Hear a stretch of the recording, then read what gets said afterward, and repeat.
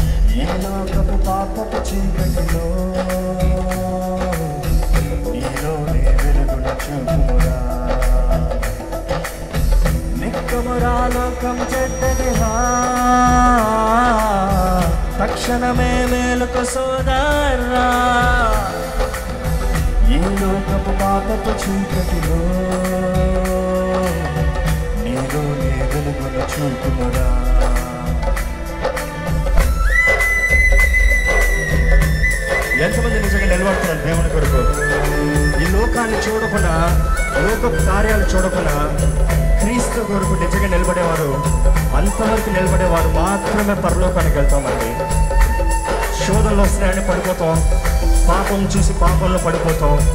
ఇలాంటి జీవితం జీవించేవారు నరకానికే వెళ్తాం. ఇక్కడ అంతవరకు నమ్మకంగా మన పయనం యేసు వైపు పెట్టి ప్రేమ విశ్వాసం కలిగి నిన్న వాక్యం విన్నాం కదా ప్రేమ విశ్వాసంతో ముందుకు నడవాలన్నమాట. ఇంకొకసారి అనుభవిస్తూ పాడదామండి.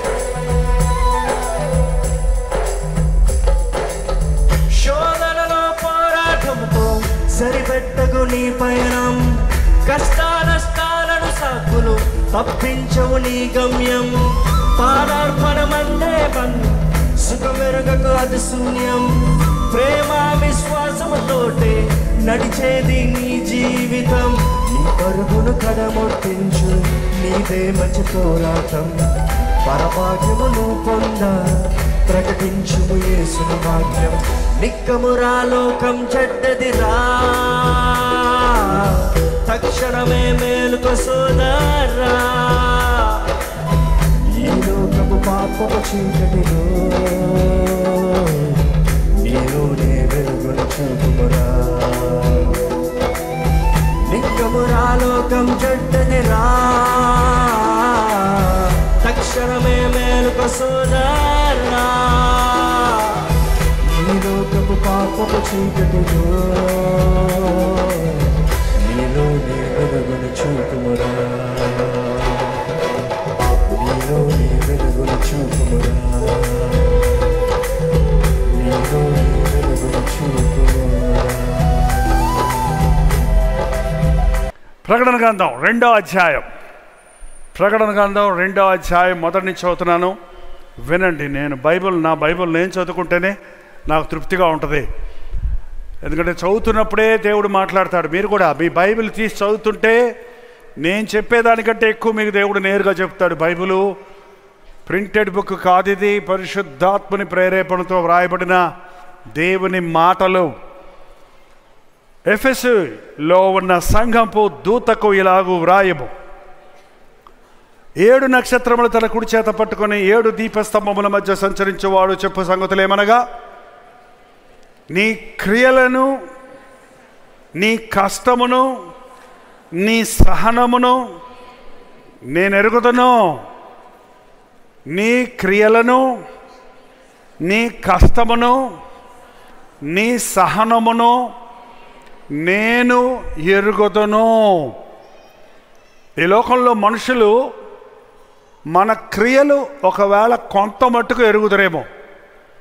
కానీ మన కష్టం ఎవరికి తెలియదు తల్లిదండ్రులు ఇవాళ మీ బిడ్డలను పెంచి పెద్ద చేయటానికి ఎంత కష్టపడ్డారో మీ బిడ్డలకు తెలుసా? తెలియదు ఊహ తెలిసినప్పటి నుంచి కొంతమంది తెలియవచ్చు. కానీ బిడ్డలకు ఊహ తెలియక ముందు కూడా ఆ పసిబిడ్డలను పెట్టుకొని మీరు ఎన్ని తిప్పలు పడ్డారో ఎంత ప్రయాసపడ్డారో ఎలాగ హాస్పిటల్ వెంబడి తిరిగారో ఎలాగ దేవుని సందులో పెట్టి ఆ బిడ్డల కోసం మొరబెట్టారో ఎలాగ వారి అవసరతలు తీర్చడం కోసం చెమట కార్చారో వారికి తెలియదు తెలుసుంటే ఏ బిడ్డ తల్లిదండ్రుల్ని వెడవడో. తల్లిదండ్రులు లేని అనా అనాథాశ్రయాల కంటే తల్లిదండ్రులు ఉండి కూడా చేరదీయని పిల్లల వలన వృద్ధాశ్రమాలు ఎక్కువైపోతున్నాయి. నిన్ను కన్న తల్లిని తండ్రిని మరువకుము. వారిని ఘనపరచమని దేవుని వాక్యం సెలవిస్తుంది. నీ జీవితంలో నిజమైన ఆశీర్వాదం కావాలంటే నువ్వు నిజంగా దేవుణ్ణి ప్రేమిస్తున్నాను అంటుంటే ఖచ్చితంగా నీ తల్లిదండ్రుల్ని నీవు వారి వృద్ధాప్యంలో కూడా ప్రేమించాలి. వారు రిటైర్ అయిన తర్వాత వారి వల్ల నీకు ఎటువంటి ఆదాయం లేకపోయినా అవసరత లేకపోయినా నువ్వు ప్రేమించాలి. ఎంతమంది అలా ప్రేమిస్తున్నారో నాకు తెలియదు కానీ తల్లిదండ్రులను ప్రేమించే వారికి దీర్ఘాయుషు ఉంటుంది. నా తల్లిదండ్రులను నేను విడిచిపెట్టాను కానీ నా తల్లిదండ్రుల్ని నేను ఎప్పుడూ ఘనపరిచాను. వారి వృద్ధాప్యంలో వారిని నా దగ్గర తెచ్చిపెట్టుకున్నాను. వారికి కావలసిన పరిచర్య నేను చేయగలిగింది చేశాను. ఎంత సేవ ఉన్నా ఎన్ని బాధ్యతలున్నా తల్లిదండ్రుల సమయం తల్లిదండ్రులకి ఇవ్వాలి. బిడ్డలకు ఖర్చు పెట్టవలసిన సమయం బిడ్డలకు ఖర్చు పెట్టాలి. నా ముగ్గురు బిడ్డలతో సమయం గడిపాను. కుదరనప్పుడు వెంట తీసుకొని వెళ్ళిపోయాను ఎక్కడికి వెళ్తే అక్కడికి. కాబట్టి ఇంత వయసు వచ్చిన నా బిడ్డలు నా దగ్గరే ఉన్నారు నాతోటే ఉన్నారు. అంటే నేను ఒక చోట లేవు కానీ మనసు కలిసి ఉంది. ఈ రోజున దేవుని ఎందు భయభక్తులు కలిగి ఉండటం కూడా అదే. దేవుని కొరకు ఎన్నో పనులు చేస్తున్నాము అని ఆశపడేవాళ్ళు చాలామంది ఉన్నారు. అలాగ దేవుని కోసం చాలా పనులు పెట్టుకుంది ఒక ఆమె. ఆమె పేరు తెలుసా మీకు? మార్త. ఆయన కోసం ఎన్ని కూరలు చేయాలా? ఎన్ని వంటకాలు చేయాలా? అని ప్రభువును పిలిచి విందుకు పిలిచి కూర్చుండబెట్టి ఆయన కోసమే ప్రయాసపడుతుంది. భలే ఉన్నాయమ్మా నువ్వు చేసిన కూరలన్నీ. కొంచెం క్యారేజీలో పెట్టి అన్నాడా? నేను అక్కడికి వచ్చినప్పుడల్లా నువ్వే చేయాలమ్మా వంట అన్నాడా? ఆమెదో వచ్చి చెల్లి మీద చిరాకు పడుతుంటే వెళ్ళమ్మా మీ అక్క ఒక్కతే కష్టపడుతుంటే నువ్వు వెళ్ళావు అని చెప్పాడా? ఆమెతో ఏమన్నాడు? మార్తా మార్తా నువ్వు విస్తారమైన పనులు పెట్టుకొని దేవుడికి కావాల్సిన పనులు కాదండి ప్రార్థన కావాలి. ఏం కావాలి? ఏం కావాలి? ఏం కావాలి? ప్రార్థన కావాలి. నీ పిల్లల కొరకు ఎంత ప్రయాసపడుతున్నావు అన్నది ముఖ్యం కాదు. ఎంత ప్రార్థన చేశావు అన్నది ముఖ్యం. నేను సేవలో పనిచేస్తున్నానండి. నేను సేవ చేస్తున్నానండి. నేనే సేవలో కెమెరాలన్నీ పెడుతున్నానండి.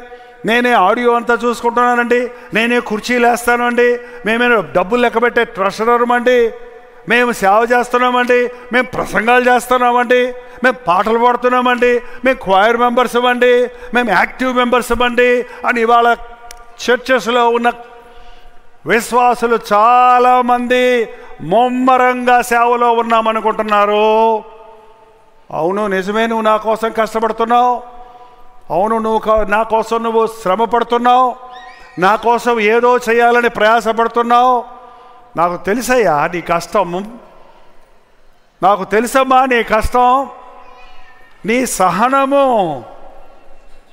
కష్టం ఒకటే కాదు ఏంటంటే నీ క్రియలు ఆ క్రియలకున్న కష్టము ఆ సహనము నేను ఎరుగుతను పాపం కొంతమంది చాలా సహనంగా ఉంటారు. కొంతమంది చర్చ్ మెంబర్స్ నేను చూస్తుంటాను విశ్వాసాలు చూస్తుంటాను. వారు వారిని పట్టించుకోకపోయినా వారికి ఏవటువంటి ప్రతిఫలం ఇవ్వకపోయినా భలే చేసావయ్యా ఈ పని అని మెచ్చుకోకపోయినా తము ఇంకా బాగా చేయాలి దేవుని కోసం ఇంకా బాగా బ్రతకాలి దేవుని కోసం అని కొంతమంది ఇంకా ఏదో చేయాలని ఆశ కలిగిన వారిగా ఉంటుంటారు. ఇంకా బాగా ప్రార్థన నేర్చుకోవాలి నేను. ఇంకా బాగా బైబిల్ చదవాలి నేను. ఇంకా దేవుని సమయానికి సమయానికి వెళ్ళాలి దేవుని మందిరానికి. ఇంకా దేవునికి ఇవ్వాలి నా కానుకలు అనే ఆశ కలిగిన వారు ఈ రోజున క్రైస్తవులు అనబడిన వారిలో చాలామంది ఉన్నారు. దేవుని కోసం కష్టపడేవారు దేవుని కోసం సహనముతో కనిపెట్టేవారు దేవుని కొరకు పని చేసేవారు. అందులో నేను ఒకడినే నేను ఒక్కడే పంతొమ్మిదో సంవత్సరంలో ప్రారంభించిన పరిచర్య ఈ రోజు వరకు ఏ ఉరుకుతో ఏ పరుగుతో ఏ ఆసక్తితో నేను సేవ మొదలుపెట్టానో రూఢిగా నేను చెప్పగలను. అదే ఆశతో దేవుడి కొరకు పరుగులెడుతూనే ఉన్నాను. పనిచేస్తూనే ఉన్నాను.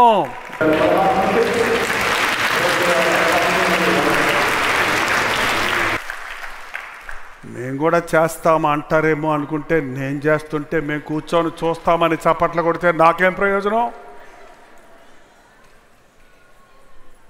ఆ దైవజనుడు అలా చేస్తుంటే ఆ ఏజ్లో అలా చేస్తుంటే నేను కూడా చెయ్యాలి అనే స్ఫూర్తి మీకు రావాలని చెప్తున్నానే కానీ మీతో చప్పట్లు కొట్టించుకొని పొగడబడటానికి నేనేదో పైనుండి వచ్చిన ఒక పెద్ద గొప్ప శక్తనో లేక వ్యక్తనో నేను అనుకోవడానికి కాదండి. నువ్వు పరిగెత్తగలవు నువ్వు పని చేయగలవు నువ్వు దేవుని కోసం బ్రతకగలవు నువ్వు కష్టపడగలవు నీ చేతికి వచ్చిన పని కష్టపడి చేయగలవు. కానీ చాలామంది కంటి కొర చూస్తున్నప్పుడు యజమాని చూస్తున్నప్పుడు కాకుండా ఎవడో చూడకపోయినా పనిచేసేవాడే నిజమైన దాసుడు. పాస్టర్ గారు చూసినప్పుడు మాత్రం కళ్ళు మూసుకుంటారు కొంతమంది. అప్పుడు దాకా ఇటు చూస్తుంటారు అందరు కళ్ళు మూసుకోండి అని పాస్టర్ గారు కళ్ళు తెరిచారు.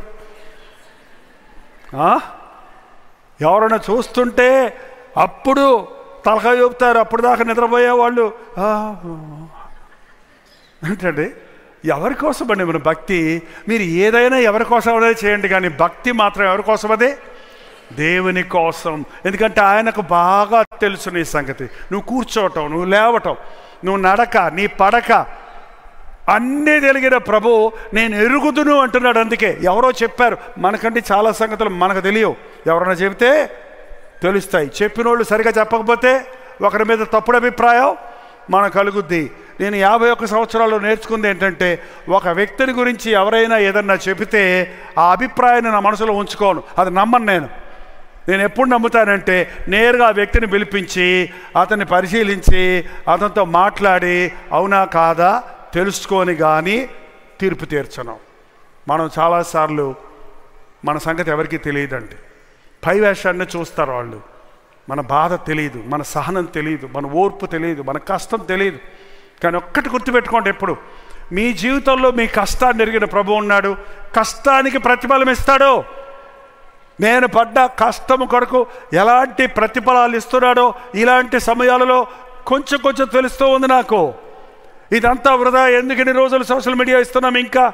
అందరూ మానేశారు కదా. పాత ఇచ్చేయచ్చు కదా. అనుకుంటున్న సమయంలో దేవుడు తెలియజేస్తున్నాడు. ఏ రోజు కా రోజు తాజాగా మన్నా కురిపించాడు ఆకాశం నుండి.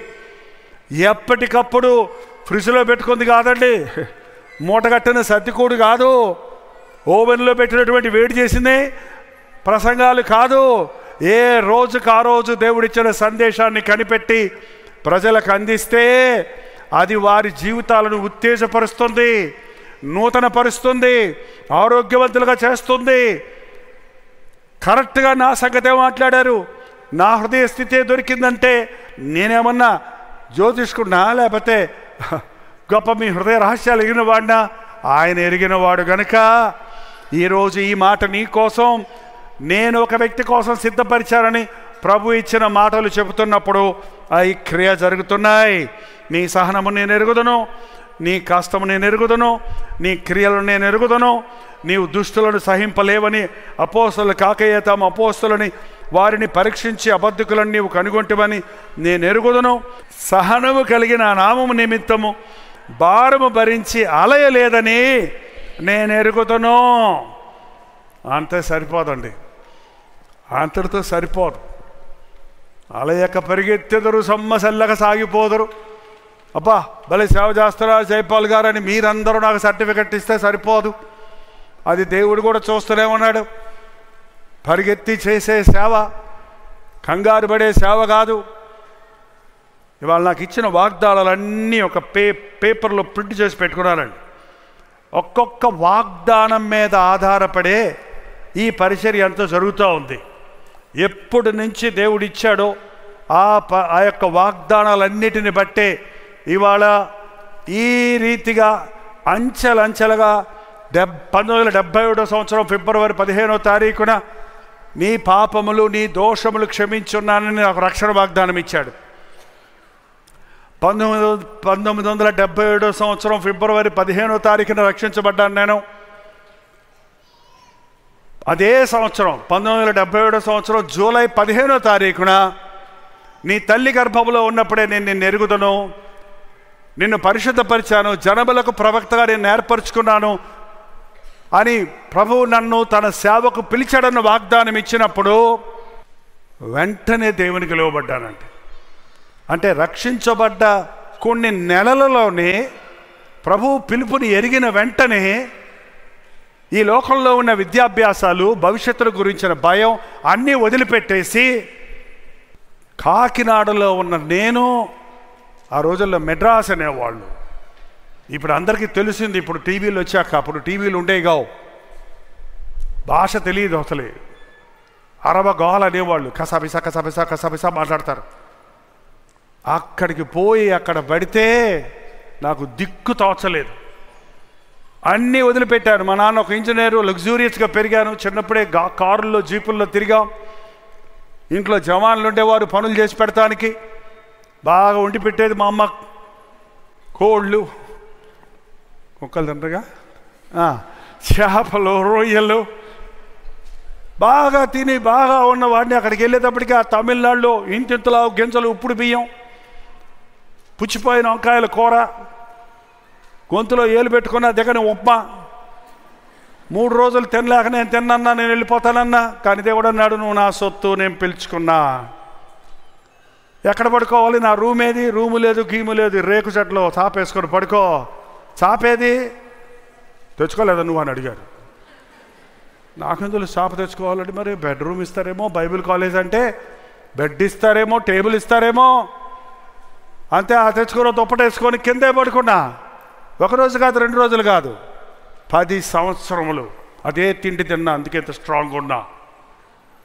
నో మజ్జిగ నో పెరుగు నో నెయ్యి నో నాన్ వెజ్. వంకాయల్లో ఉన్న పుచ్చిపోయిన పురుగులు తప్ప. దేవుని ఎందు శక్తి.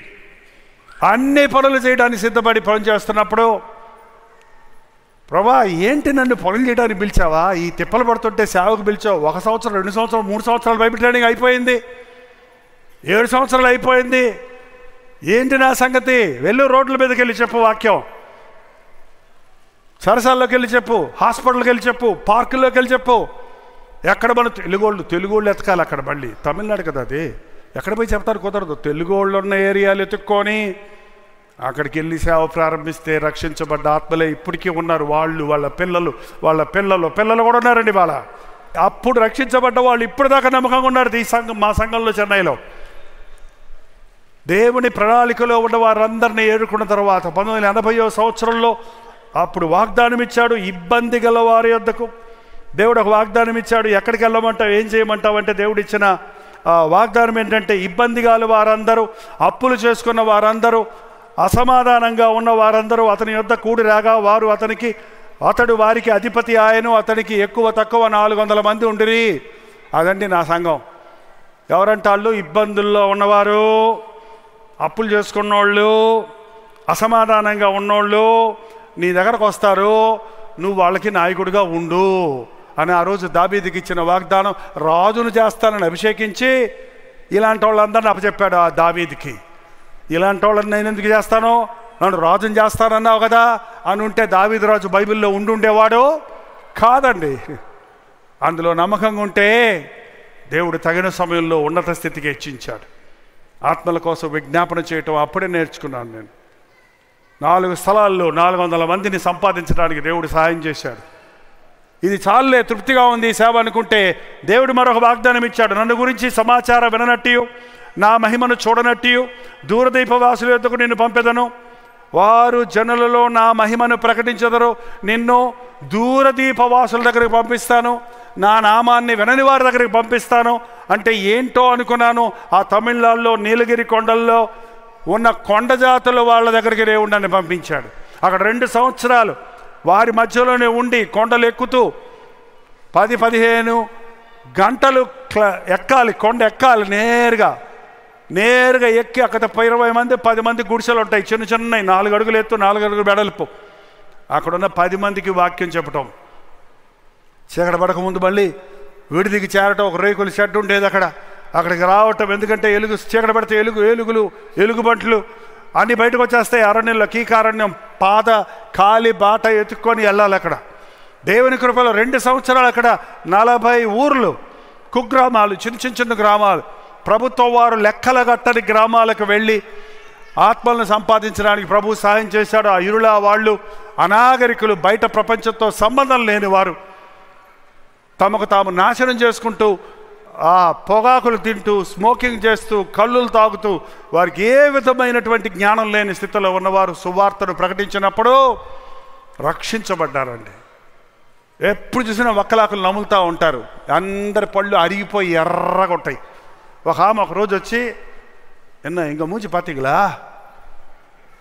தமிழில் வந்துச்சுங்க அது தமிழ்காரங்க அவங்க தமிழில் தான் பிரசங்கம் பண்ணேன் అప్పుడు తమిళ్లోనే ప్రసంగం చేశా చూడండి అని ఇటు చూపిస్తుంది నోరు. ఈ ఏమైంది? పళ్ళు వెళ్ళయాయిచ్చి పరగా పళ్ళు తెల్లగా అయిపోయినాయి చూడండి. ఒక్కలాకలు నేను ప్రార్థన చేసుకొని మానేశాను. ఒక సమయం వచ్చేటప్పటికి ఆ ఊరిలో ఉన్న యవ్వనస్తులు మారారండి.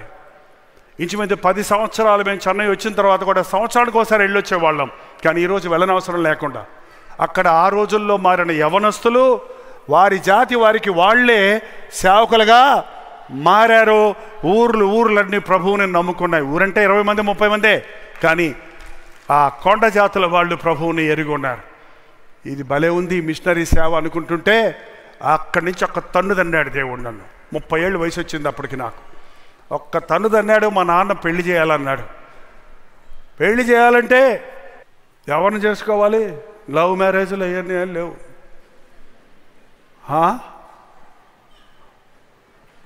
వాగ్దానం అడిగాను. ప్రభా నా వివాహం విషయంలో ఏం చేయమంటావంటే నా మాట వినుడి. మీ దేవుడైన హోవాను నమ్ముకొనుడి. అప్పుడు మీరు స్థిరపరచబడదురు. ఆయన ప్రవక్తలను నమ్ముకొనుడి. అప్పుడు మీరు కృతజ్ఞతలు అవుదురు. ప్రభువుని నమ్మండి. ఆయన సేవకులను నమ్మండి. మా నాన్న చూపించిన వివాహం దైవజనులు చూపించిన వివాహం దేవుని చిత్తంలో పంతొమ్మిది వందల ఎనభై మూడవ సంవత్సరం డిసెంబర్ ఇరవై ఎనిమిదవ తారీఖు ఆ సంవత్సరంలోగా పెళ్ళి చేస్తాడు దేవుడు వాగ్దానం ఇచ్చాడు. ఇంకేం చేస్తాడులే అనుకుంటుంటే ఇరవై ఎనిమిదో తారీఖు పెళ్ళి అయిపోయింది. ముప్పయో తారీఖు కొత్త సంవత్సరం వచ్చేసింది మళ్ళీ. ముప్పై ఒకటో తారీఖు. అంతగా దేవుడు నమ్మిన దేవుడు నమ్మకస్తుడు.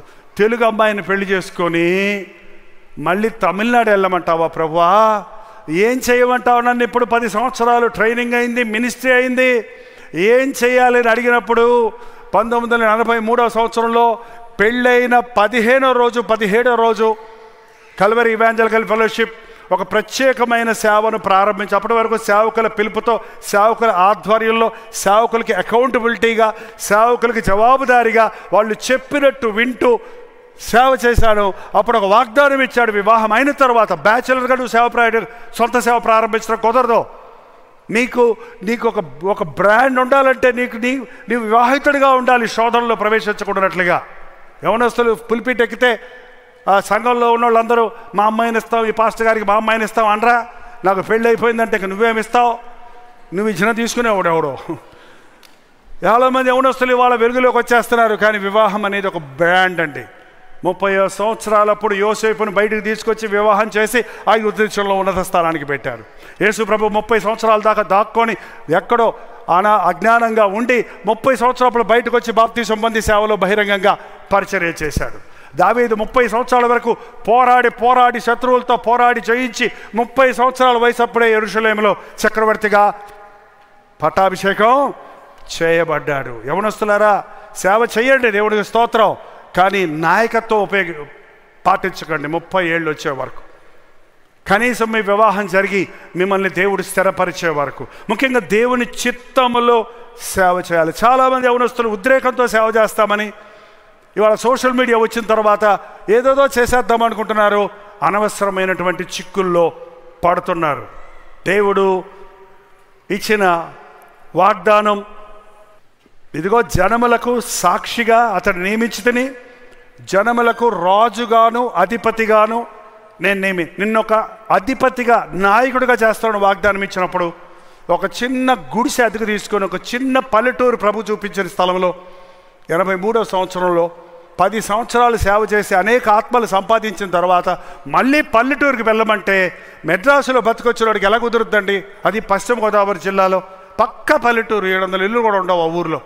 ఆ ఊరు చూపిస్తే ఆ ఊరిలో కుల పట్టింపులు ఎవరు ఇల్లుకి అద్దెకి ఇవ్వనంటే ఒక గుడిసె దెయ్యాల గుడిసింది కావాలంటే తీసుకోమంటే దెయ్యాలంటే మాకు భయం లేవులేండి అని ప్రార్థన చేసుకొని ఆ దెయ్యాల గుడిసెలో మా వివాహమైన పదిహేను రోజు నా భార్య కూడా విశ్వాసి కాబట్టి రక్షించబడిన వ్యక్తి ఆత్మలో భారం కలిగిన వ్యక్తి కాబట్టి నాతో సహకరించింది. లేకపోతే పెళ్ళైన కొత్త పెళ్ళి కూతురు కొత్త పెళ్ళి కొడుకు పదిహేడో రోజు గుడిసెలోకి వెళ్తారా పల్లెటూరికి వెళ్తారా హానిమూన్కి వెళ్తారు ఎక్కడికన్నా?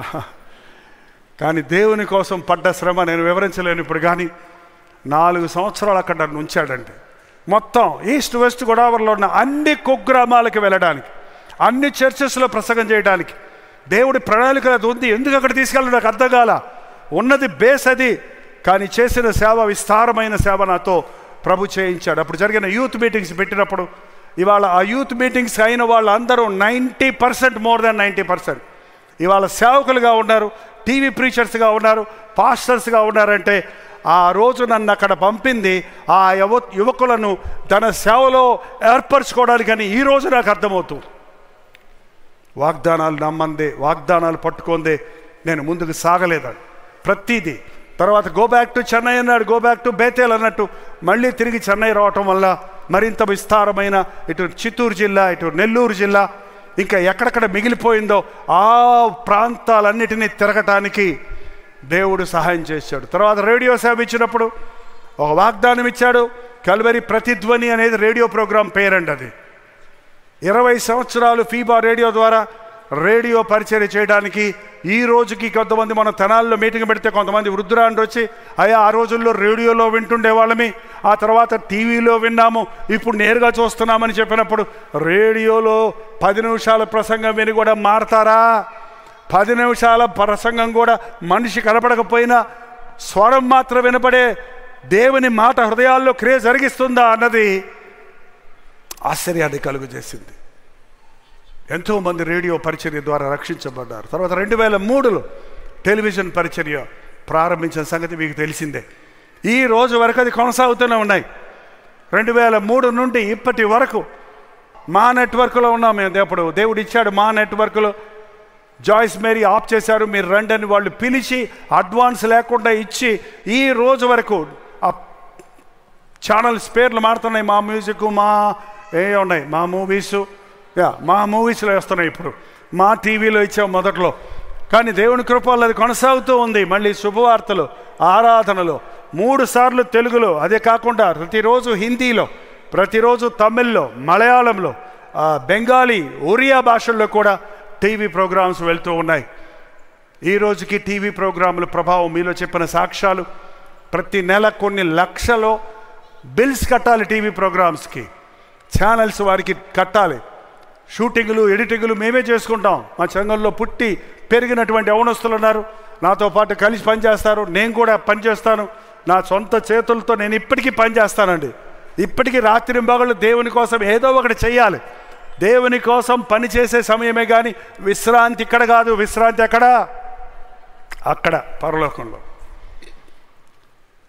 నేనేమంటున్నానంటే నేను ముగిస్తున్నానండి. నేనేమంటున్నానంటే ఇంత సేవ చేశావు కదా అని నేను చెప్పుకోవటానికో లేకపోతే ఇంత చేశాను కదా అని సాటిస్ఫై అవటానికో కాదు కానీ దేవుడు నాతో అన్నాడు జయపాల్ నాకు తెలుసు జయపాల్ నాకు తెలుసు. నువ్వు నా పిలుపుకు లోబడ్డావని తెలుసు. నువ్వు కష్టపడ్డావని తెలుసు. సైకిళ్ళ మీద సేవ చేశావని తెలుసు. కొండలు ఎక్కి సేవ చేశావని తెలుసు. చెమటతో నీ బట్టలన్నీ తడిచిపోయిన సంగతులు ఎన్నో ఉన్నాయన్న సంగతి నాకు బాగా తెలుసు. నువ్వేం అక్కర్ల గొప్ప. నువ్వు పస్తులున్న రోజులు ఎన్నో నాకు బాగా తెలుసు. డొక్కలు అంటుకుపోయేటట్టు పస్తులున్న రోజులు ఉన్నాయండి నా జీవితంలో. ఇప్పుడు కూడా పస్తులు ఉంటాను నేను. ఇప్పుడు కూడా తిండి కోసం కకృతి పడను. దేవుని పని ముందు పని అయ్యాకే తిండి పని అయ్యాకే నిద్ర పని అయిన తర్వాతే కొద్ది తిన్నా కొంచెం పడుకున్నా దేవుడు శక్తిని ఇస్తున్నాడు దేవుడు బలాన్ని ఇస్తున్నాడు అయినా కూడా నేను మళ్ళీ అంటున్నాను అవన్నీ నాకు తెలుసయ్యా. నీ సహనం నాకు తెలుసు. అయ్యగారికి చాలా సహనం చాలా ఓపిక. విసుక్కోకుండా మా మాటలన్నీ వింటారు. అని నువ్వేం చెప్పించుకోక్కర్లా వాళ్ళతో నాకు తెలుసయ్యా? తెలీదా? దేవుని తెలీదా? దేవుని తెలీదా అండి? అన్నీ నాకు తెలుసు. ప్రసంగం నేను మీకు చెప్తాను నాకు చెప్పుకుంటున్నా. నాకు చెప్పుకుంటే మీకు కూడా తగులుతుందని. ఎందుకంటే భయ దేవుని వాక్యం రెండంచులా? ఖడ్గం చెప్పేవాడిని కొయ్యాలి వినేవాడిని కొయ్యాలి. మీరు ఇంటా కూర్చొని అట్టా భలే నీకు చెప్పుకుంటున్నామని వెళ్ళిపోతే మీరు అట్టగా ఉండిపోతారు గుదిబండల్లాగా గచ్చకాయలు ఉంటాయి చూసారా గచ్చకాయ తెలుసా అండి? గచ్చకాయ తీసుకొచ్చి ఒకడంట దాన్ని పగలగొడదామని రాయి తీసుకొని టుష్ అనేటప్పటికి ఇది బొయ్యను పోయిందంట. మళ్ళీ పట్టుకొచ్చి నట్టు ఇటు పోయిందంట. ఎన్ని దెబ్బలు కొట్టేవాడు చెయ్యి నొప్పి పుట్టింది కానీ ఏలు మీద కూడా కొట్టుకున్నాడు కానీ దానికి మాత్రం ఒక దెబ్బ కూడా తగల్లా. ఏమైనా గచ్చకాయలు ఉన్నారా ఇక్కడ? వాక్యం ఎవరి కోసం అండి జాన్ వెస్లీ అనే భక్తుడిని ఆంగ్ల దేశ అపోస్తుడన్న పిలువబడిన జాన్ వెస్లీని అయ్యా మీరు మీటింగ్లు పెడుతుంటే అంతమంది జనం వచ్చేస్తున్నారు. మీరు స్వస్థతలు చేయరు. మీరు ప్రాస్పారిటీ గురించి చెప్పరు. ఏదో లోక సంబంధమైన ఆశీర్వాదాల గురించి చెప్పరు. మీరు బాగా కఠినంగానే స్పష్టంగానే వాక్యం చెప్తారు. ఆయన ఎందుకు వస్తున్నారు? ఏంటి ఆకర్షణ? అని అడిగితే ఆయన అన్నాడట ఎవరు? నాకు కూడా అదే అర్థం కావట్లేదు. నేను బలిపేట మీద నిలబడి ప్రభా నన్ను కాల్చు అని నేను ప్రార్థన చేస్తున్నాను. ఒకవేళ నేను కాలిపోతుంటే వీళ్ళందరూ చూస్తానికి వస్తున్నారేమో. నేను కాలిపోతుంటే వీళ్ళందరూ చూస్తానికి వస్తున్నారేమో. కాలిపోయే మనిషి దగ్గరికి వెళ్ళావంటే నువ్వేమవుతావు? ఇట్లా అన్నావు అనుకో కాలిపోయేవాడు చెయ్యి. నీకు అంటుకోదు? మరి అంటుకుంటుంది ఎవరికన్నా? నేను కాలుతున్నా దేవుని కోసం నేను వెలుగుతున్నా దేవుని కోసం నేను ప్రచురించాలని ఆశపడుతున్నా. ఈ మాటలు వింటున్న యవనస్తులు రోషం తెచ్చుకోవాలని ఆశపడుతున్నా. ఎవరినడా నీ జీవితాన్ని వృధాపరచుకోకు. దేవుణ్ణి నమ్ముకుంటే దేవుని సేవ అంటే ఏముంది? అని భయపడిపోతారు ఏంటండి? అదే మనుషులు మళ్ళీ అంటారు వాళ్ళకి ఏమయ్యో దేవుని సేవ చేస్తున్నారు? సూట్లు బూట్లు కార్లు ఉన్నాయి అంటారు. నువ్వు కూడా రా నీకు ఇస్తాడు. అదే నేను రాను. నాకు మంచి సెంట్రల్ గవర్నమెంట్ ఉద్యోగం నాకు స్టేట్మెంట్ గవర్నమెంట్ ఉద్యోగం. అదేంటండి? దేవునికి సమర్పించుకొని చూస్తే ఇలా ఉంటారని నేను ఇలా ఉంటానండి అందుకని. దేవుణ్ణి సమర్పించుకుంటే భిక్షం ఎత్తుకోడండి దేవుని చేతులకు అప్పచెప్పిన వాడికి లోకంలో ఉన్నతమైన స్థానం ఇస్తాడు పరలోకంలో ఉన్నతమైన స్థానం ఇస్తాడు. నేను ఎరుగుదును నీ కష్టము నీ శ్రమలు నీ సహనము నాకు ఎరుగుదును. నువ్వు అలయలేదు జైపాల్ యాభై ఒక్క సంవత్సరాల నుంచి సేవ చేశావు. నువ్వు అలసిపోకుండా ఉన్నావు. బాగా సేవ చేస్తున్నావు. చాలా చాలా సంతోషం.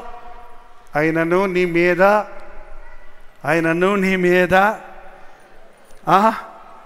తప్పు ఒకటి మోపవలసి ఉన్నది.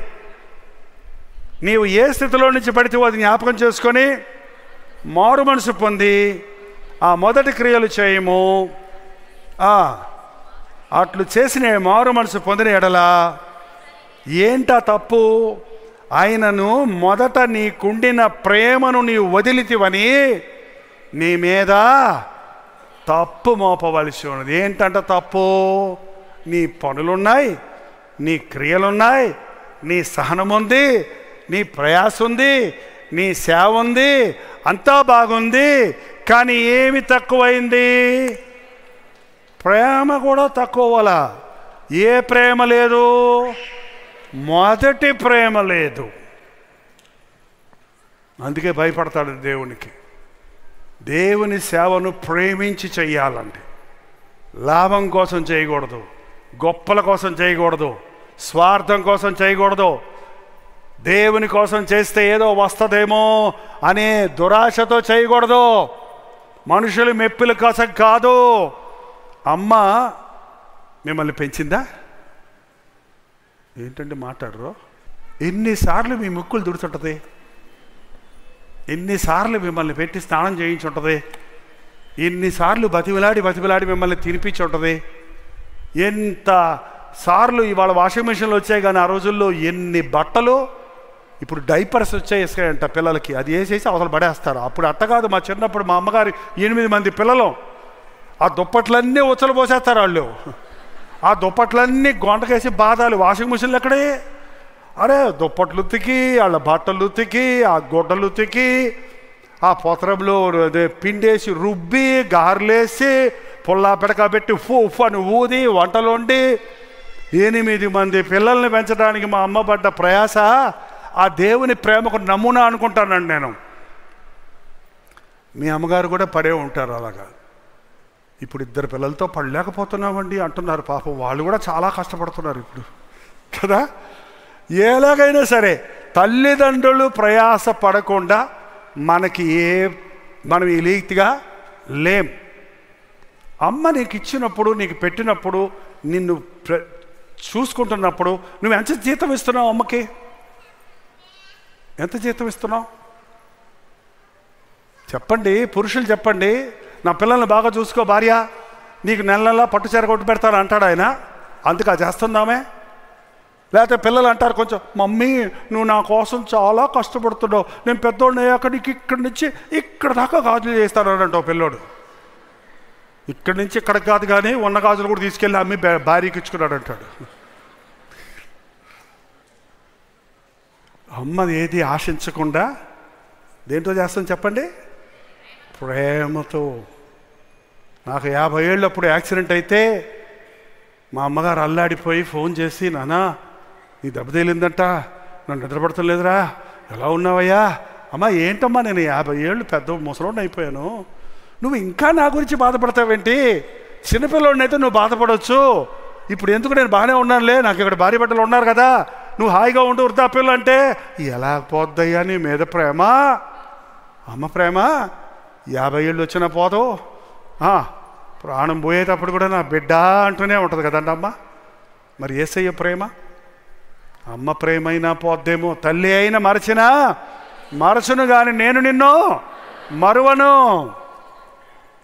యేసు ప్రభు మనల్ని అంత ప్రేమిస్తున్నాడంటే ఒక మురికి గుట్టలు మురికి గుంటలో వాసన కొట్టేటువంటి మురికోడిగా నువ్వు దేవుని ముందు నిలబెడితే వాసన కొడతావు పోరా. కడుక్కొని రారా అంటాడు అనుకున్నారా? పందుల గబ్బు కొడతాడు అంటాడు తప్పిపోయిన కుమారుడు. పందులు తినే పొట్టుతో నీ కడుపు నెట్టుకుందాం అనుకున్నాడు. మాసిపోయిన గడ్డము బికారులాగా ఉన్నాడు. వాడు ఇంటికి వస్తుంటే రే పనికి మనలోడు వస్తున్నాడు రా తరిమే అన్నాడా. ఏం చేశాడండి? పరిగెత్తుకొని వెళ్ళి మెడ మీద పడి వాసన కొట్టేవాడిని ముద్దెట్టుకుంటారా? హ? ఆ వాసన తట్టుకున్నాడు. నాకు చాలామంది తాగుబోతులు నాకు ఫ్రెండ్స్ ఉన్నారండి. దయచేసి వేరేలా భావించండి నేను తాగను. ఫ్రెండ్స్ అంటే ఆత్మలో. వాళ్ళ ఇళ్ళ దగ్గరికి వెళ్ళి తాగుబోతులు ఇళ్ళకి వెళ్ళి వాళ్ళ కోసం ప్రాణం చేస్తామని వస్తే ఇంకో విచిత్రం ఏంటంటే తాగుబోతోడు చెప్పినంత మనస్ఫూర్తిగా తాగనోడు కూడా చెప్పడండి పాస్టర్ గారికి వందనాలు. వదరాలన్నయ్యా అన్నయ్యా అని మీదకి వచ్చేస్తాడు. ఉండయా వస్తా. ఓ వందనాలు నా కోసం ప్రార్థన చేయవా? ఆ నోరు ఇప్పుతుంటే గుమా గుమా కొడతా ఉంటుంది. చీఫా అంటే కుదరదు. ప్రభా నువ్వే రప్పించావు. ఈ తాగుబోతున్నాయినా విడుదల చెయ్యి అని సహనంతో ప్రేమతో ప్రార్థన చేస్తే ఇవాళ అదే తాగుబోతులు మారి భార్యను బిడ్డలను కుటుంబాలను కట్టుకొని బైబిళ్ళు పట్టుకొని దేవుని మందిరానికి వచ్చే దైవ బిడ దేవుని బిడలుగా మారిపోయారండి.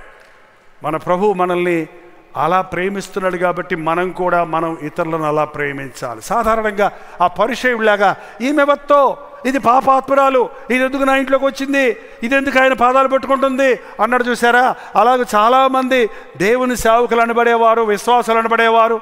పాపంలో ఉన్న వాళ్ళని చూసినప్పుడు తప్పులో పడ్డవారిని చూసినప్పుడు విమర్శించడం ఏలెత్తి చూపించడం తీర్పు తీర్చడం తోసివేయటం చేస్తున్నారంటే ఆ సేవలో ప్రేమ లేదు. ఆ వ్యక్తిలో దేవుని ప్రేమ లేదు. మొదటి ప్రేమను విడిచితివని మొదటి ప్రేమ పెళ్ళైన కొత్తలో భార్య భర్తలు ఎంత ప్రేమగా ఉంటారు చూడండి. ఎంత ప్రేమగా ఉంటారు చూడండి. ఆమె చీర కనుక ఎక్కడ నిరుక్కుందనుకోండి ఉండు ఉండు. పద. చూసుకున్నాడు చూసుకున్నాడు అదే ఒక నాలుగైదేళ్ళు అయిన తర్వాత కింద పడిపోయామండి అందరికి? ఏ ఎవడమన్నా మేడం? లే. ఏమైపోయిందండి ప్రేమ?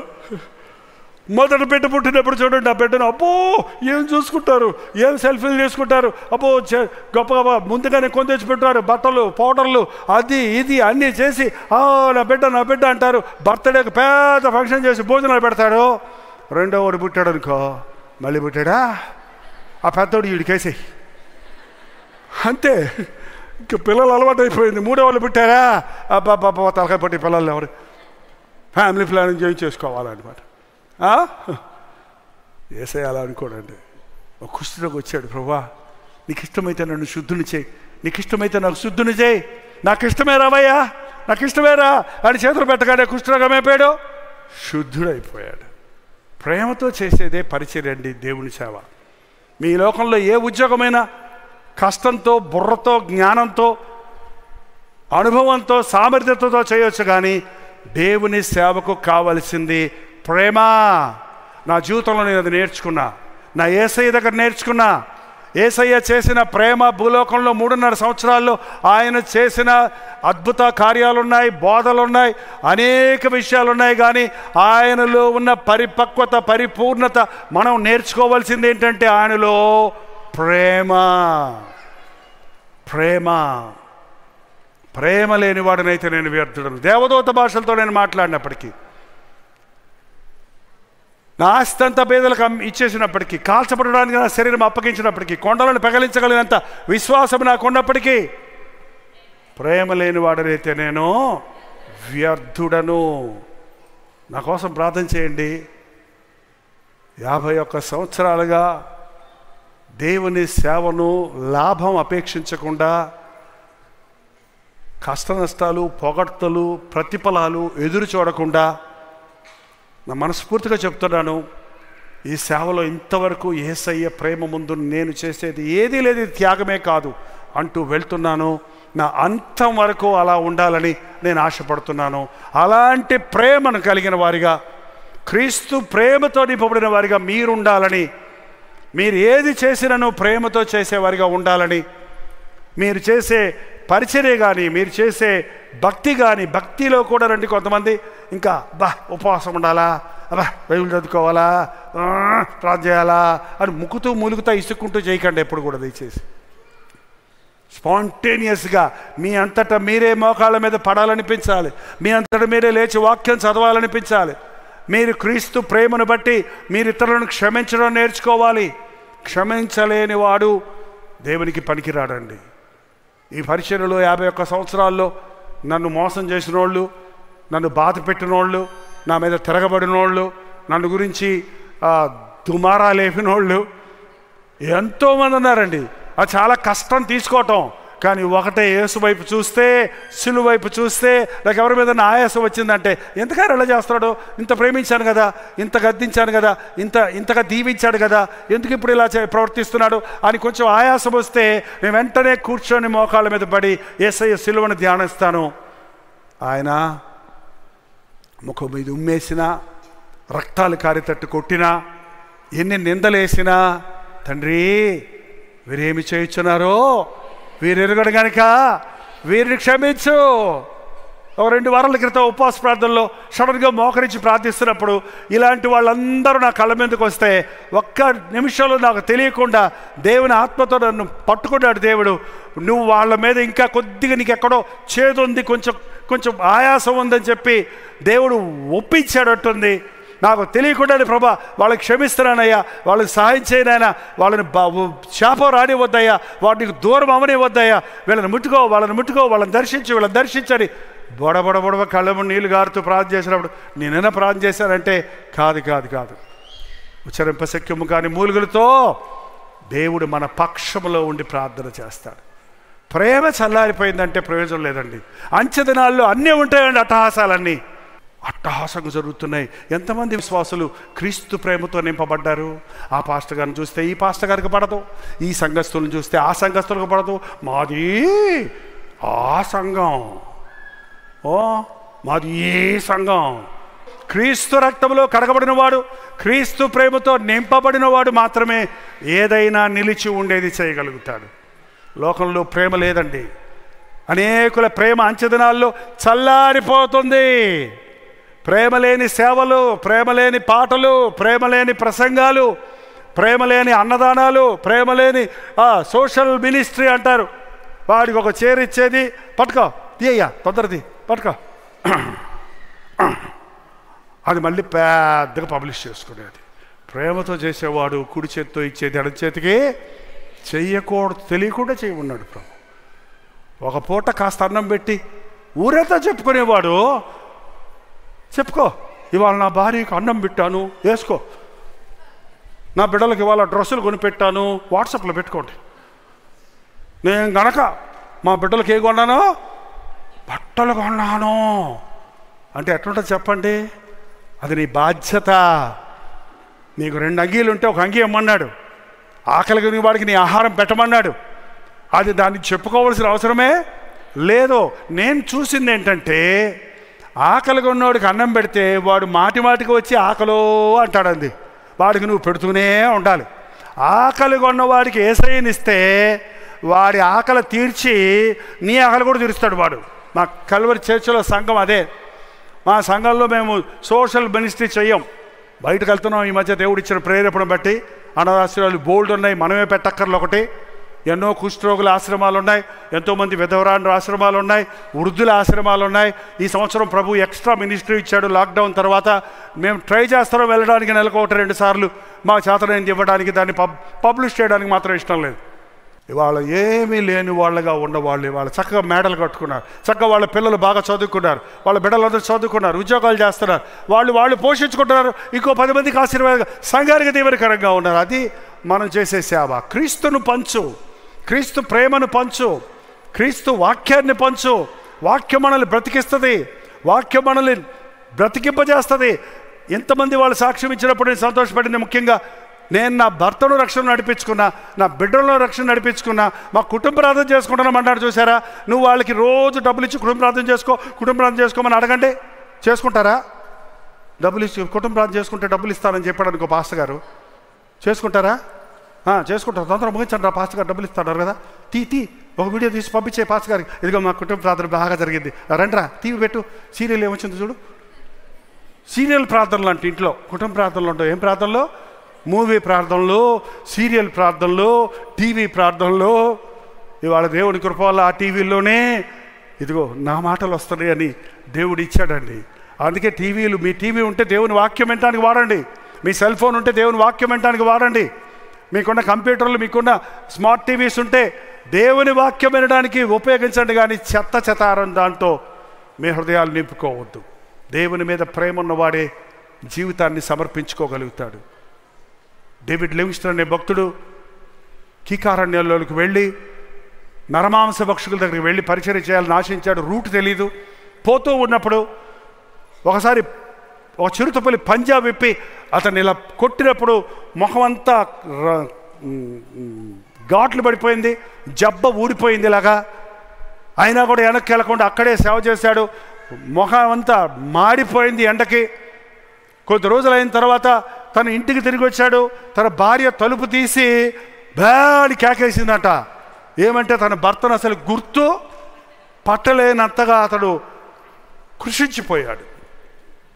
ఆ మాట తెలుసుకుని అక్కడ ఉన్న సంఘస్థులందరూ ఒక పెద్ద మీటింగ్ అరేంజ్ చేసి మన మధ్యలో నుండి వెళ్ళి నేను ప్రాణాలకు తెగించి సేవ చేశాడని పొగుడుతూ ఉంటే ఆయన స్టేజ్ మీదకి వచ్చి నిలబడి నా కోసం కొరడా దెబ్బల కింద రక్తము కారినంతగా ప్రయాసపడిన తన ప్రాణాన్ని అర్పించిన ప్రభు త్యాగం ముందు నేను చేసింది త్యాగమా? దయచేసి నన్ను పొగడకండి. ఆ ప్రేమ నన్ను బలవంతం చేసింది. క్రీస్తు ప్రేమ నన్ను బలవంతం చేస్తుంది. ఎందుకు సువార్త ప్రకటిస్తారు మీరు? లాభం లేకపోతే ఎందుకు ప్రసంగం చేస్తారు? లాభం లేకపోతే ఎందుకండి మీరు సోషల్ మీడియాలో రోజుకు మూడు సార్లు వాక్యం చెప్తారు? ఎందుకండి? లాభం లేకపోతే ఎందుకు చెప్తారు? ఏదో వచ్చేస్తున్నాయి క్యూఆర్ కోడ్ ఎదురుకుండా పెట్టుకుంటారు. నేను పెట్టను. మీరు గమనించరా? చివరిలో ఒకసారి చెప్తా. అప్పుడప్పుడు చెప్తా మర్చిపోతుంటా కొన్నిసార్లు. సౌదులు చెప్తుంటారు అయ్యో ఇవాళ వేయలేదంటే అప్పుడే వేస్తుంటాం. ఏమండి? మాకు ఎక్కడే వాళ్ళు డబ్బులు తెలియదు అంటారు. మాకు డబ్బులు ఎక్కడ తెలియదు మీరు నిజంగా ఇచ్చే వాళ్ళైతే ఎత్తుక్కుంటూ తెచ్చేస్తారు. అక్కర్లేని వాళ్ళు ఉబ్బిచ్చి తబ్బిచ్చి మీ జేబులు ఖాళీ చేయించేది దేవుని పద్ధతి. ఇచ్చేది ప్రేమతో ఇవ్వాలి. పొగడతల కోసం కాదు. దేవునికి ఇచ్చేది ప్రతిఫలం కోసం కాదు. దేవుడికి నేను రుణపడి ఉన్నానని ఇవ్వాలంతే. దేవుడికి మనం మన అప్పు తీరుస్తున్నాం అనుకోండి అప్పులోడికి వెళ్ళి అప్పులోడి దగ్గర అప్పు తీరుస్తున్నప్పుడు అయ్యా ఇదిగో నాయన నాకు అప్పించినందుకు చాలా థ్యాంక్స్ కష్టంలో సాయం చేసావు నీ డబ్బు నువ్వు తీసుకొని ఇస్తారా నేను నీకు ఇస్తున్నాను అప్పు తీసుకోరా? అని ఇస్తారా చెప్పండి. మనం దేవుడికి ఇచ్చే కానుక మనం ఆల్రెడీ ఆయనకు రుణస్థులం. ఆ రుణాన్ని కొంచెం ఈ చెత్త కాగితాలతో తీర్చుకుంటున్నాం. అంతే కదండి? చెత్త కాగితాలు అంటారు ఏంటండి డబ్బులు డబ్బులు డబ్బులు. కంగారు పడకండి. తొందరలో కరువు భయంకరంగా రాబోతుంది. కాగితాలకు విలువ ఉండదు. కాగితాలకు వెలువడదు. రెండు మిరపకాయలు పన్నెండు వందల రూపాయలు అంటారు శ్రీలంకలో. రెండు మిరపకాయలు పన్నెండు వందల రూపాయలు. మనకు కూడా వస్తుంది తొందరలో. జాగ్రత్త పెట్టుకోండి. నోట్లన్నీ ఉల్లిపాయలు ఐదు వంద ఐదు వేల రూపాయలు ఉల్లిపాయ వస్తుందేమో చూసుకో. ఇంకెట్ట వాడతాం. హ? ప్రపంచానికే కరువు రాబోతుందని ఎదురు చూస్తున్నాడు అంచెదనములలో కరువులు కలుగును అన్న దేవుని మాట అక్షరాల నెరవేరుతుంది. ఊరంతా కరువున్నా ఏసయ్య ఉన్న చోట కరువు లేదు కరువు కాలం అంతా తొట్టులో పిండి అవలేదు బుడ్డిలోనే అయిపోలేదు. మనుషులు కాదండి మన కరువు తీర్చేది. నీకున్న దానిని అభివృద్ధి పరిచేవాడు నువ్వు నమ్మిన దేవుడు. నువ్వు ప్రభువుని ప్రేమించే వారికి ఏ కొరత ఉండదు. అది నా జీవితంలో నేను అనుభవించాను. ప్రేమ విషయంలో తప్పిపోతే సేవ అంతా జరుగుతున్నా కూడా ప్రేమతో చేయకపోతే దానికి ప్రతిఫలం ఉండదు అన్నది దే నన్ను నేను హెచ్చి హెచ్చరించుకుంటూ దేవా నీ ప్రేమలో నిలిచి ఉండి ఫలించడానికి నీ ప్రేమను పంచడానికి నాకు సహాయం చేయమని ప్రభువును అడుగుతూ మీరు మీ జీవితాల్లో క్రీస్తు ప్రేమతో నింపబడండి మీకు జీవితము సునాయాసనంగా ఉంటుంది ప్రేమతో చేసిన పనిలో ప్రయాస కనపడదు కష్టం కనపడదు శ్రమ కనపడదు. ఖచ్చితంగా ప్రేమే ఫలిస్తుంది ప్రేమ ఫలితాన్ని ఇస్తుంది. కన్నీటితో విత్తిన దానిని సంతోషముతో పనలో కోచుకుంటాం కోస్తాం. ఈరోజు నేను కూడా దేవుని సేవ కొరకు పనిచేయాలని దేవుని కొరకు పనిచేయాలని ఆశతో ఉంది. యవనస్తులైతే మీకు మీకు మిమ్మల్ని ఖచ్చితంగా చెప్తున్నానండి. డోంట్ వేస్ట్ యువర్ టైం మీరు ఎన్ని డిగ్రీలు చేసినా ఎంసీఎల్ చేస్తున్నామండి సివిల్స్ ట్రై చేస్తున్నామండి. Civils civils civils civils. ఒకప్పుడు కలెక్టర్ అంటే విలువ ఉండేదండి. ఇప్పుడు కలెక్టర్లు కూడా గౌరవమే లేదు వాళ్ళకి. అంత కీలు బొమ్మలు ప్రభుత్వం చేతుల్లో వాళ్ళు. ఏం ప్రయోజనం? నువ్వు దేవుని చేతుల్లో కీలు బొమ్మ గొప్ప కార్యాలు సాధించగలుగుతావు. మనుషుల చేతుల్లో కీలు బొమ్మలు అవుతావేంటి ఆ కాగితం మొక్కల కోసం? ఏంటో పాస్టర్ గారు చెప్తున్నారు. నేను చెప్పేది నిజమండి. నేను అదే నమ్మాను కాబట్టి నా జీవితం దేవునికి ఇచ్చాను. నేను అదే నమ్మాను కాబట్టి నా ముగ్గురు బిడ్డలు దేవునికి ఇచ్చాను. నా ముగ్గురు బిడ్డలు దేవుడిని నమ్మారు కాబట్టి వారు అలాగే దేవుని సేవలో వెళ్తున్నారు. దేవుడు ఏం తక్కువ చేయటం లేదు. నువ్వు కూడా నీ కుమారుని దేవుని కోసం ఇవ్వు. నేను వెళ్ళమంటున్నానండి వెళ్ళటం లేదని చెప్పొద్దు. అన్న వెళ్ళమంటున్నాను వెళ్ళటం లేదని చెప్పలేదు. బిడ్డను అలాగ పెంచింది వాక్యంతో పెంచింది. వాడు పెద్దవాడైనప్పుడు సమూహాలు గొప్పవాడయ్యాడు కాబట్టి కాబట్టి మందిరంలో అప్పచెప్పినందుకు గొప్పవాడయ్యాడు. ఈ రోజున ఈ సమయంలో చాలామంది యవనస్తులు దేవునికి సమర్పించుకోవాలని ఆశపడుతున్నాను. ప్రభు ఆశపడుతున్నాడు. మిగిలిన వారందరూ ఎగ్జాస్ట్ అయిపోయిన మీ ప్రేమంతా చల్లారిపోయింది. రొటీన్గా క్రైస్తవ భక్తి సాగిపోతుంది. అలా కాకుండా మరింత ఉత్సాహంగా ఆశీ ఆనందంగా పరిపూర్ణంగా దేవుని సేవ చేయనట్లు దేవుడు మిమ్మల్ని అందరినీ తన పరిశుద్ధాత్మతో అభిషేకించును గాక ఈ అభిషేకం నాకు కావాలన్న వారు మీరున్న స్థలాల్లో లేచి నిలబడండి. ఎవ్వరు ప్రార్థన సమయంలో కదలొద్దు. పరిశుద్ధాత్ముడు మన మధ్య బలంగా పనిచేయబోతున్నాడు. కొద్ది క్షణాల్లో మనందరూ వెళ్ళిపోబోతున్నాం. ఇది ఒక తీర్మానం చేసుకునే సమయం. ఇది పరలోకపు శక్తిని భూలోకములో మనం అనుభవించే సమయం. ఒకవేళ నీవు ఎంతో దేవుని కోసం ప్రయాసపడుతున్నావేమో ఎంతో కష్టపడుతున్నావేమో ఎంతో సహనంతో ఉన్నావేమో కానీ నీ ప్రేమను పోగొట్టుకున్నావని మొదటి ప్రేమను పోగొట్టుకున్నావని నీ మీద నింద మోపుతున్నాడు ప్రభు. నువ్వు మారు మనసు పొంది ఆ మొదటి క్రియలు చేస్తే తప్ప నీ మీ దగ్గర ఉన్న దీపస్తంభాన్ని తీసేస్తారంటున్నాడు. దేవా నీ ఆత్మను నా మీద కుమ్మరించయ్యా. పరిశుద్ధాత్ముడు దేవుని ప్రేమను మన మీద కుమ్మరింపజేయడానికి ఈ ఆవరణలోకి వచ్చి ఉన్నాడు ఉన్నాడు మన మధ్య ఉన్నాడు. నోరు తెరవండి ఇప్పుడు ఇందాక మీరు ప్రార్థన చేయలేదు. నోరు తెరవండి ఇప్పుడు. నోరు తెరవండి నాకు అభిషేకం కావాలయ్యా. నాకు దైవ ప్రేమ కావాలయ్యా. నాలో క్రీస్తు ప్రేమ లేదయ్యా. భార్యాభర్తలుగా మేము క్రీస్తు ప్రేమతో నింపబడలేదయ్యా. అందుకే మాకు ఘర్షణలయ్యా. అందుకే మాకు ఇంట్లో గొడవలయ్యా. అందుకే మాకు ఇంట్లో సమాధానం లేదయ్యా. మా కుటుంబంలో నీ ప్రేమతో నింపయ్యా. నా బిడ్డల పట్ల నీ ప్రేమ చూపించలేకపోతున్నాడయ్యా. ఓవర్ స్ట్రిక్ట్గా ఉండి వారిని దూరం చేసుకుంటున్నాడయ్యా. అయ్యా నా బిడ్డలు నీ కొరకు పెంచాలని ఆశ ఉంది కానీ ప్రేమతో పెంచడం నాకు నేర్పించయ్యా. ప్రార్థనతో పెంచడం నాకు నేర్పించయ్యా. నా విరోధుల్ని క్షమించే ప్రేమ నాకు దయచేయ్యా.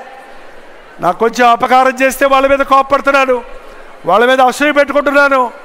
అయ్యో నా అత్త మీద నా కోడల మీద నా సహోదరుడి మీద నా సహోదరు మీద కూడా నేను అలిగి ఉన్నానయ్యా కోపంతో ఉన్నానయ్యా అసూయతో ఉన్నానయ్యా.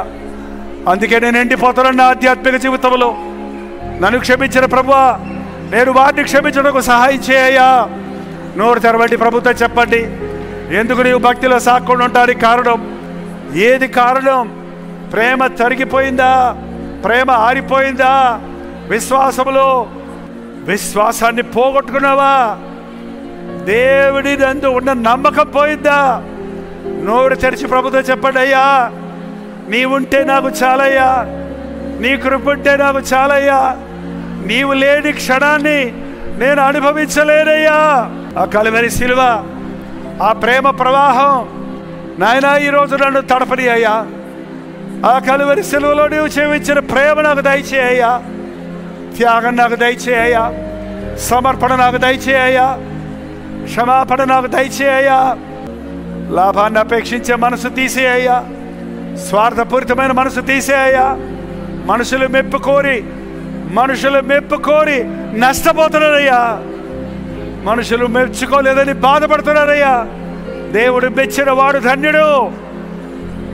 నీ సహనాన్ని చూసే ప్రభు నీ కష్టాన్ని చూసే ప్రభు నీ క్రియలను చూసే ప్రభు నీకు ప్రతిఫలం ఇవ్వడానికి సిద్ధంగా ఉన్నాడు. జయించువానికి పరదేశంలో ఉన్న జీవవృక్ష ఫలాలు ఇస్తానంటున్నాడు. పరలోకంలో ఆదామవ్వలు తినలేకపోయినా ఆ జీవవృక్ష ఫలం క్రీస్తు ప్రేమలో నిలిచుంటే మనం సంపాదించుకుంటాం. తరతరాలు యుగ యుగాలు మన ప్రభుతో సహవాసం చేయగలుగుతాం. ఎసయ్యా నన్ను అభిషేకించిన ఆయన సేవ చేద్దామనుంది. నీ చిత్తంలో చేయటం నేర్పించయ్యా. నువ్వు ఎక్కడికి వెళ్ళబట్టి ఎక్కడికి వెళ్తానికి సహాయం చేయ్యా నువ్వే చేయబట్టి అది చేయడానికి సహాయం చేయ్యా ఏదో చేస్తున్నానులే ఏదో చేస్తున్నానులే అనే తృప్తి నాకు వద్దయ్యా కష్టమైన నష్టమైన కనబడిన మనుషులకి కనబడకపోయినా నన్ను చూచే దేవుడు నాకు ప్రతిఫలం ఇస్తాడన్న విశ్వాసంతో చేస్తాడు. చేయడానికి సహాయం అయ్యా. ప్రేమ ప్రేమ అని పాటలు పాడుతున్నామే. ఆ సలువరి కలువరి ప్రేమ మా ముఖాలలో కనబడని అయ్యా. మా హృదయాలలో కనబడని అయ్యా. మా క్రియలలో కనబడని అయ్యా. ప్రతి ఒక్కరిని తెరిచి ప్రార్థన చేద్దాం. ప్రేమాలతో నింపబడి వెళ్దాం ఇక్కడి నుంచి. మీ జీవితంలో సమస్యలు తీరిపోతాయి. నీవు క్రీస్తు ప్రేమతో నింపబడితే నీ విరోధులు నీకు స్నేహితులు అవుతారు. నీవు క్రీస్తు ప్రేమతో నింపబడితే నీవు చేయలేని కార్యాలు బలముతో శక్తితో జ్ఞానముతో తంత్రముతో డబ్బుతో చేయలేని కార్యాలు క్రీస్తు ప్రేమతో చేయగలవని నిరూపించబడుతుంది. నీ ప్రేమ అయ్యా నా హృదయంలో దయచేయ్యా ఒకరినొకరు ప్రేమించుకోమన్నావే. ఇతరులను ప్రేమించే మనసు దయచేయి. ఇతరులు నాకంటే ఘనంగా ఎంచే మనసు దయచేయి. ప్రతి ఒక్కరు నోరు తెరవాలి. నోరు తెరవాలి. నువ్వు దేవుణ్ణి ప్రేమిస్తే దేవుడిని ప్రేమించే వారికి అనగా ఆయన సంకల్పము చెప్పిన పిలువబడిన వారికి మేలు కొరకై సమస్తము సమకూడి జరుగునని దేవుడు వాక్యం సెలవిస్తూ ఉంది. నువ్వు దేవుడిని ప్రేమించే వ్యక్తివైతే నీ కీడు మేలుగా మారుతుంది. నీ శ్రమ సంతోషంగా మారుతుంది.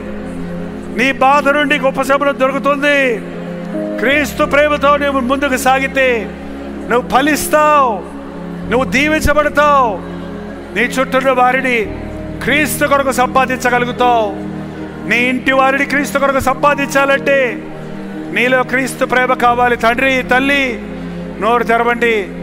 నేనేదో చేశానంటున్నావే. ఎందుకు చేస్తున్నావు? డబ్బుల కోసమా? జీతం కోసమా?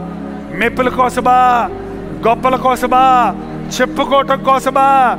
లేక నిన్ను చూచుతున్న ప్రభు నీ అందు ఆనందించాలని ఆయనను పోలి నీవు జీవించి ఆయన ప్రేమ నీ జీవితం ద్వారా లోకానికి వెల్లడి చేయాలని ఆశతో చేస్తున్నావా? ప్రేమే జయిస్తుంది ప్రేమ కలిగి ఉండుటకు ప్రయాసపడండి. విశ్వాసము నిరీక్షణ ప్రేమ వీటిలో శ్రేష్టమైనది ప్రేమే. ప్రేమ లేని వాడు దేవుడికి పాత్రుడి కాదు. పరలోకంలో విశ్వాసంతో పనిలేదిక పరలోకంలో ప్రార్థనతో పనిలేదిక పరలోకంలో ఉండవలసింది ఉండేది ప్రేమే. ప్రేమతో మనమందరము కలిసి మన ప్రభు అయిన యేసుక్రీస్తును ఆరాధిస్తూ యోగాయుగములు తరతరములు జీవించే భాగ్యము కొరకు ఎదురు చూద్దాం. ఈ లోక శ్రమలను లెక్క చేయొద్దు. ఈ లోకపు లాభాలను కోరుకోవద్దు. మోసే పెద్దవాడైనప్పుడు ఐగుప్తు ధనము కంటే క్రీస్తు విషయమైన నింత గొప్ప భాగ్యమని ఎంచి మరో కుమార్తె యొక్క కుమారుని నడిపించుకున్నటకు ఇష్టపడలేదు. ఎంత గొప్ప దేవుడు.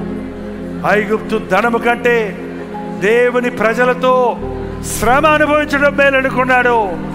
క్రీస్తు కొరకు శ్రమపడు సోదరా క్రీస్తు కొరకు శ్రమపడు యవనస్తుడా క్రీస్తు కొరకు శ్రమపడిన వాడు ఇలా ఉంటాడని నీ కన్నుల ముందు నేను నిలబడి సాక్ష్యం ఇస్తున్నాను నా జీవితంలో క్రీస్తు కొరకు శ్రమ పడ్డాను కాబట్టి క్రీస్తు ప్రేమతో పరిచర్యలు చేశాను కాబట్టి ఏదైనా దీవెనంటూ నా జీవితంలో ఉందంటే దానికి కారణం అదే అదే నీ జీవితానికి ఇవ్వాలని నీ సేవ ఫలింపజేయాలని నీ బ్రతుకును దీవింపజేయాలని నీవంటే అనేకులు ఇష్టపడేటట్టు నీవు అనేకులకు ఆదరణగా ఉండేటట్టు నీవు అనేకుల కన్నీరు తుడిచేటట్టు నీవు అనేకుల బాధలు అర్థం చేసుకొని ప్రార్థించేటట్టుగా ఒక విజ్ఞాపనగా కర్త చేయాలని దేవుడు ఆశిస్తున్నాడు.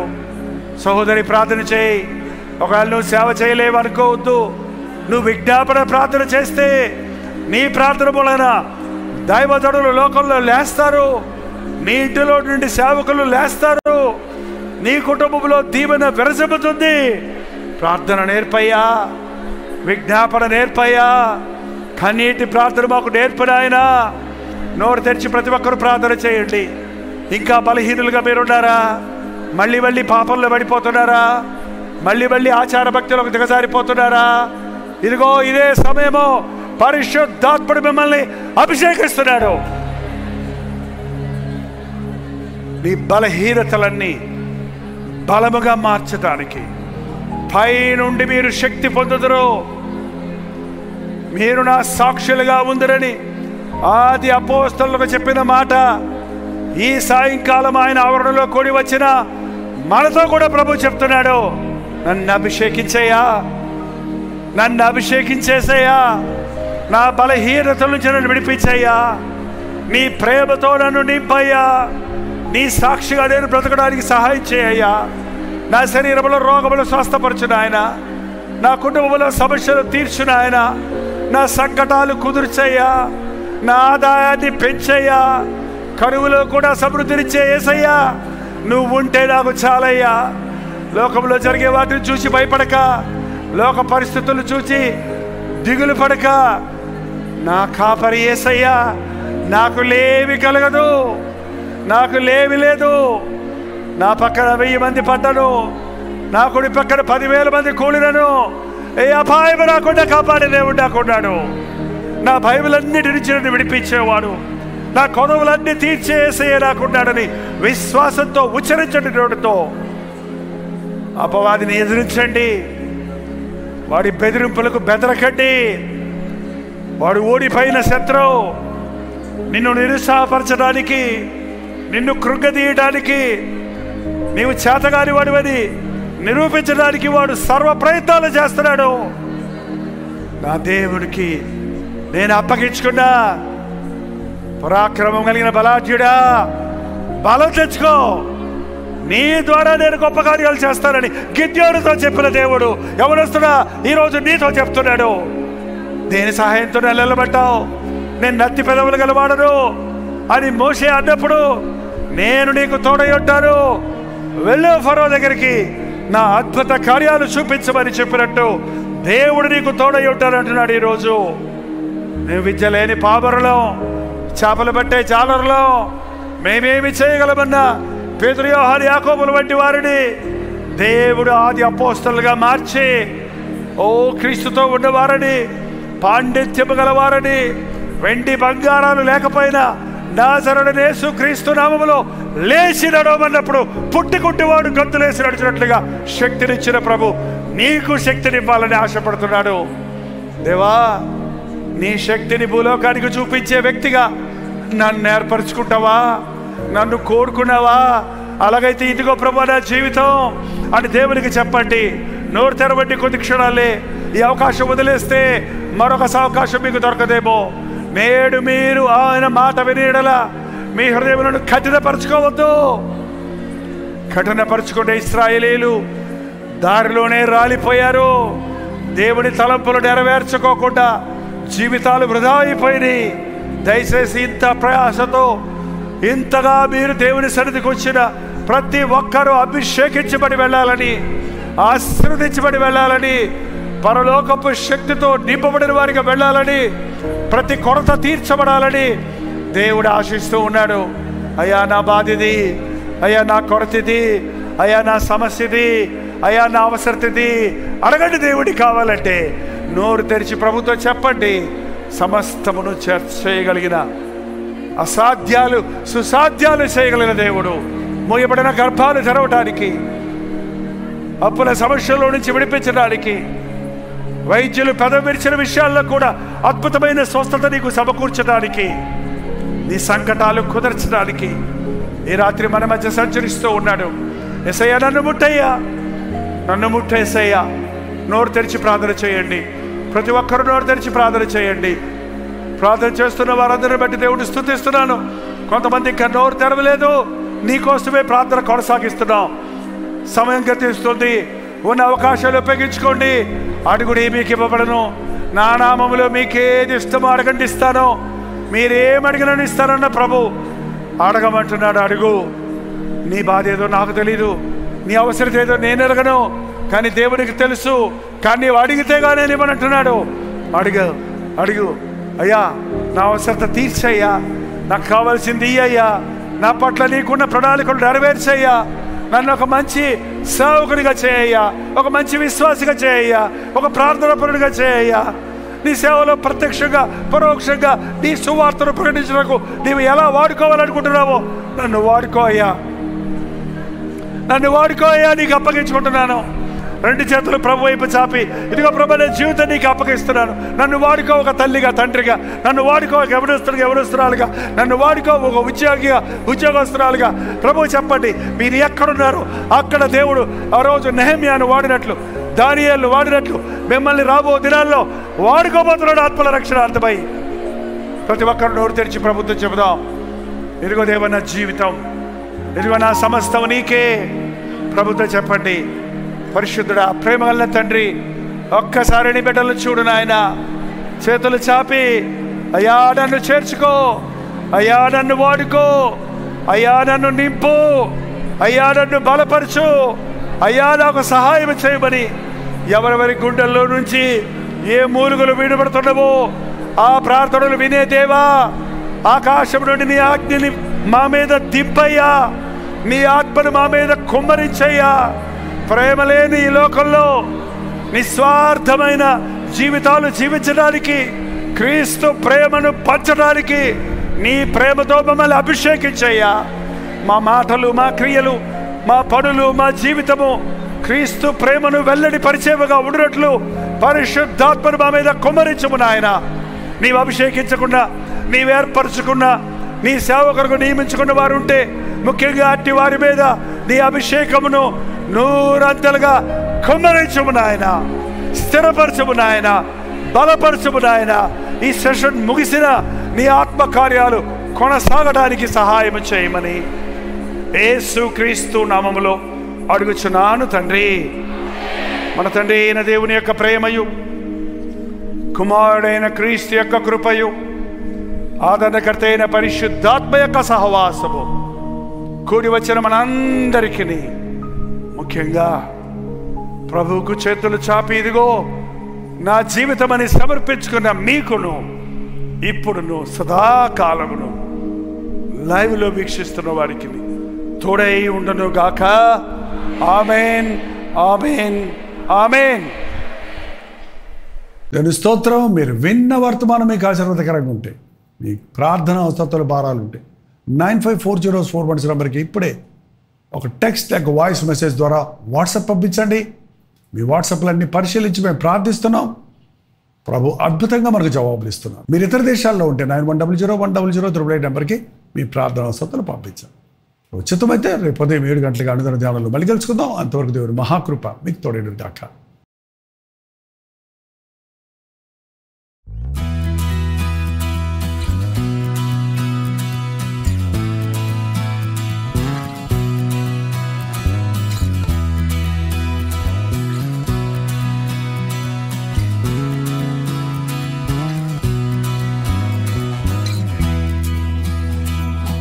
ముంబై ముంబై పరిసర ప్రాంతాల్లో ఉన్న వారికి శుభవార్త.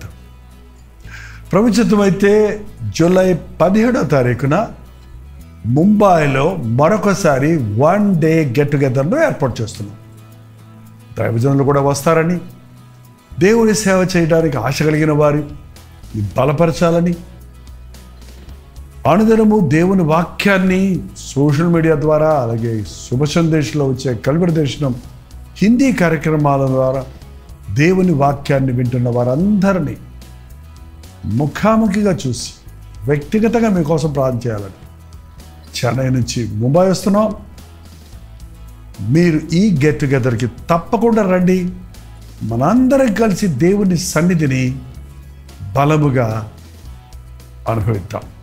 చిరునామా గమనించండి. Morning star English school Sion Dharavi Mumbai. ఇంకా విషయం మీకు వివరాలు కావాలంటే nine double eight four nine zero seven seven seven nine నెంబర్కి మీరు కాల్ చేయొచ్చు లేదా వాట్సాప్ పెట్టొచ్చు. లేదంటే nine five four zero four words నెంబర్కి కూడా మీరు వాట్సాప్ ద్వారా తెలియచేయచ్చు. తప్పక వస్తారు కదా మీ బంధువులకి స్నేహితులకి అందరికి కూడా తెలియచేయండి